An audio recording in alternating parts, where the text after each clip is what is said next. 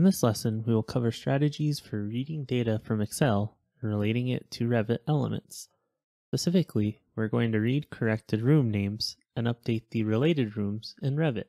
By the end of this lesson, you will know how to read Excel files with Dynamo, select Revit elements by their element ID, and update Revit element parameter values.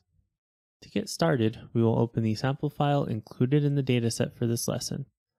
We also need to have access to the Excel file created in the previous lesson. If you don't have that file, it is also available in the dataset. With our sample file open, we'll go ahead and open Dynamo from the Manage tab and the Visual Programming panel. We'll go ahead and click on New to create a new blank workspace. And for this portion of the lesson, running our Dynamo in automatic run mode will do fine. We'll change it to manual run mode a little later on in this lesson. As with the previous example, Excel-related nodes are available in the Import-Export category of Dynamo. In this case, we're going to be importing data from Excel. As you may recall, Dynamo has a few different options for working with Excel data. The Export to Excel and Import Excel nodes require you to have Excel installed on your system. The OpenXML variants allow you to read Excel files without Excel installed. In my case, I'll go ahead and place the OpenXML import Excel node. As you may notice, this node has fewer imports than the export operation. In this example, the only inputs we need to deal with are the file path and sheet name inputs. For the file path input, this takes a string or text. In this case, we can use a file path node. Let's go ahead and right click and search for this now. With file path place, we can navigate to our Excel file. Wherever you save that file is where you can navigate to. In my case, this file is located in my downloads folder. Let's go and connect file path now. For our sheet name, we will need to use a string. In this case, we can right click and search for a string node. In the previous example, we named the sheet that we're exporting all the room data to as room data. Going to connect that into sheet name now. Since we are in Run Automatic, you will notice that the OpenXML import Excel node did run. Hovering and pinning the preview will show us the results. Keep in mind, if you're using the import Excel node, which requires Excel to be installed, it will have an option to show Excel while reading the data. You can toggle this to false or true depending on how you want to interact with the node. This time we are using the OpenXML version, so we'll just go ahead and continue with this. As you may notice, on the output of our OpenXML import Excel node, we are receiving the data grouped per element. So we have the element ID and the room name, and they're grouped accordingly. Ideally, we want these pieces of data to be two separate lists, so we will need to modify this. Similar to the previous lesson, we need to transpose this data once again. So we can go ahead and right click, search for the node transpose, and reconvert this data back to rows. We'll go ahead and connect the data output into the list's input. Hovering on the list transpose, we will notice that we have the element IDs grouped together and the room names grouped together. These are two sublists that are a little bit easier to work with. At this point, we can go ahead and group the import operation nodes with a group. Let's go ahead and select the OpenXML import Excel node, the string, and the file path. Pressing Ctrl G on our keyboard allows us to create a group. We'll title this read, and we'll give it a description of Excel data for room names. I'll go ahead and change this color to something else. You can choose whatever you'd like. At this point, we are ready to use this data to select the Revit elements. For our element IDs, we need to extract that sublist. We can use this with a node called getItemAtIndex. GetItemAtIndex is a list operation, so it is available under the list category in the library. We'll navigate to List, Inspect, and GetItemAtIndex. It is an action on list objects. Let's go ahead and place this node now. The list that we need to input would be our transposed list, and the index, the index we need matches the first list, and this is an index of zero. An easy way to enter numbers in Dynamo is to double click for a code block and type in a number for use within the index input port of the getItem at index node. Hovering on getItem at index and pinning the preview will show us the element IDs extracted and organized by themselves. For the names that have been corrected, we also need to use another getItem@index. We can go ahead and hide this preview, hold down the control key, and copy this node. By default, the connections will remain connected, so we are still retrieving element IDs. A quick way to fulfill this input to get the next output of the transpose is to simply click in the code block after the semicolon and type the number 1. Clicking outside of the code block results in another output port, and we could connect this output port into the index of the get item at index. Once again, we'll see that node update automatically, and we are retrieving the room names. We can go ahead and reorganize this portion of the graph a little bit now by dragging the nodes and grouping all of them together. In this case, pressing Ctrl G of course, we are grouping nodes that are reorganizing our data. So we'll go ahead and retitle this group Reorganize Data for Revit Rooms. And I'll go ahead and change this to a gray because it's a little bit more of a background operation.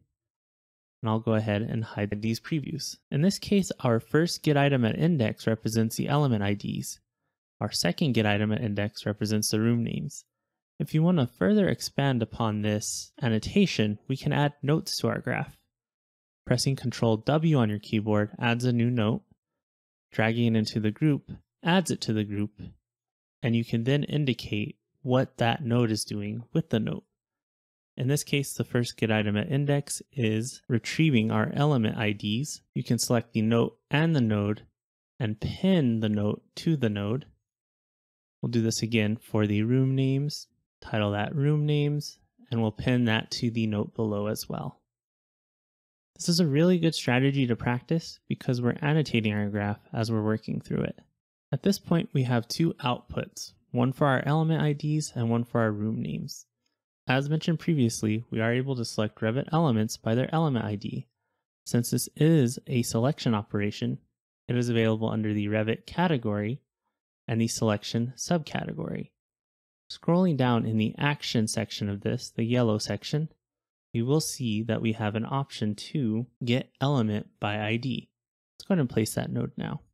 With this node placed, we can zoom out and reorganize our graph. The output of our element ID's getItem@index node will go into the ID input port. At this time, we will notice that we received an error on the element by ID node. This error, if we hover, tells us what's going on. The input ID is not a valid element ID, GUID, string, or integer. In this case, Revit element IDs are expected to be strings. So what we will need to do is go ahead and convert these to strings. The easiest way to do this, since we're reading data from Excel, is to go ahead and toggle all the data to be strings. As you may notice, this is an option on the OpenXML Import Excel node on the last input port. By default, it is false for reading the data as strings. In order to quickly fulfill this input, we can right click and search for a boolean, toggle it to true, and connect this to our read as string input. Keep in mind, dragging the boolean into the group will add it to the group. That way you can annotate your graph as you go along. With that complete, you'll see the element by ID node fulfilled, hovering and pinning the preview will show us elements. We know that they're elements because of the green element IDs displayed on the output. With that in mind, we also have our other data for room names. These room names will be used to set the parameter values for our room elements. In Revit, properties of elements are called parameters.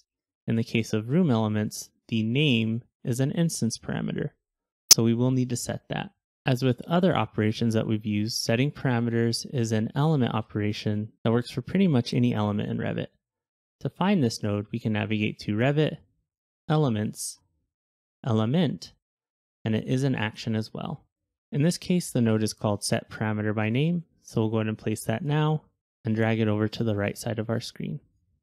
This node has three inputs. The first input is an element, which would be the output of our element by ID node. The second is a parameter name, which is a string. And the third is a value, which can be strings, numbers, elements, and a variety of other inputs. In this case, we're using strings. In order to specify the parameter name, we need to type in a string. We'll go ahead and right click and search for a string node. In the case of rooms, the names of the rooms, the parameter name is name with a capital N. Parameter names in Revit are case sensitive, so that's something to keep in mind. We're going to connect this output into the parameter name input. Before we do anything else, we're going to go ahead and navigate to the bottom left-hand corner of our screen and change our run mode to manual. We're going to go ahead and do this because we are changing Revit elements and we want to ensure that it only happens once. Keep in mind, this is not a requirement, but it's more of a precaution for this example. With our run mode in manual, we can go ahead and connect our other get item at index for room names into the value input port of set parameter by name. At this point, let's go ahead and group these nodes to indicate what they're doing as well. Control G on our keyboard. I'm going to change it to an orange color. For the title, we're going to put update. And for the description, we'll put room names. At this point, we have a graph that works and is reusable, so I encourage you to save this and name it accordingly. Keep in mind, all these sample files are in the dataset. Before we press run, since we are in the manual run mode, I'm going to go ahead and drag my dynamo to the left. I'll minimize the library by dragging that as well. And we'll zoom in within our Revit model. So within Revit, we can still see that we have a few misspelled names. In this case, once we press run, we will see those room names update. It happens really fast, so we'll go ahead and hit undo, and I'll press run again in Dynamo. As you can see, conference, storage, and a few others have changed. You can actually see that we've updated 91 elements in the output of the set parameter by name node. And there we have it. With that complete, we have now corrected our room names by spell checking through Excel. In this lesson, we covered how to read an Excel file with Dynamo, how to select Revit elements by their element ID, and how to update elements parameter values in Dynamo. With this lesson complete, you now have a reusable graph for Dynamo for Revit that helps you spell check room names with Excel.